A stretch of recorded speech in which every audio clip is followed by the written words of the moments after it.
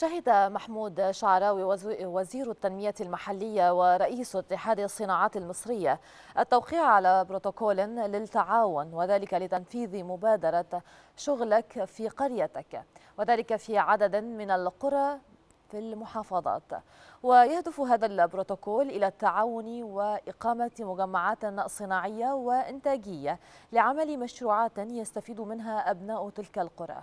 هذا وقامت وزارة التنمية المحلية خلال الفترة الماضية بتوفير 384 قطعة أرض في عدد من القرى بالمحافظات لإقامة المشروعات وفقا لطبيعة الأنشطة المحددة واستخراج التراخيص اللازمة للإنشاءات والأنشطة غير الصناعية.